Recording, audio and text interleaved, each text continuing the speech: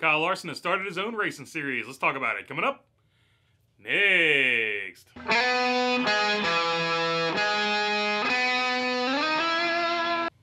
What is going on, everybody? Hope you're doing good today. All right, later today at 3:30, uh, NASCAR is going to announce the Chicago Street Race. I will either make a video on that tonight or talk about it on the live stream, or I will catch that video tomorrow. But today we are going to talk about Kyle Larson and Brad Sweet teaming up once again. Of course, they already have teamed up to own. Uh, Silver Dollar Speedway, I think. In, I, know it's in Chico, California. I'm not a big dirt expert, uh, but I know they own a track in Chico, California. I think it's called Silver Dollar Speedway. Uh, but they have teamed up once again to create their own racing series. So let's get into this article at the Heavy.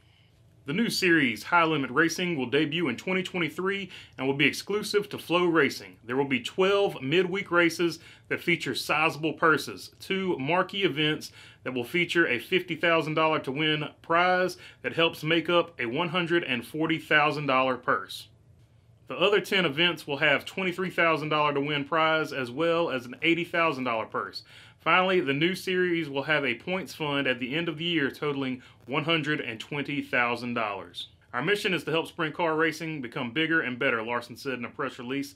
The High Limit Sprint Car Series will not only create more opportunities for sprint car drivers to race midweek shows for big money, but will also give dirt track fan- fans great racing to attend. They can watch live or on demand too, thanks to FloRacing, I'm very excited to get it started.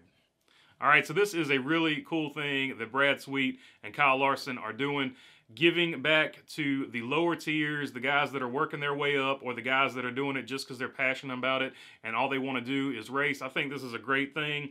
They can go across not only dirt, but it can go across all of the lower series, the touring series, things like that. These guys need an opportunity to make more money because they spend so much money to get these things to the track and hardly ever is the is the purse uh, worth even racing for. So most of these guys, if they're not trying to work their younger kids, are just trying to work their way up to the top. I understand that, but these guys, these veterans that have been doing it for a long time, it is good that somebody is finally looking out for them. Uh, because I can tell you from the late model side nobody nobody is really making money driving the race car. Some of the people running the teams are making a little bit of money, but nobody's making a, a ton of money. So it is good that that somebody has addressed this and is giving money back to the racers. I think this is a much bigger thing in the in the racing community uh, than probably a lot of fans will, will necessarily realize. Like a lot of fans probably won't even care about this story. They, they probably won't really get it. Uh, but what he's doing is is putting money into smaller teams' hands if they can get these wins.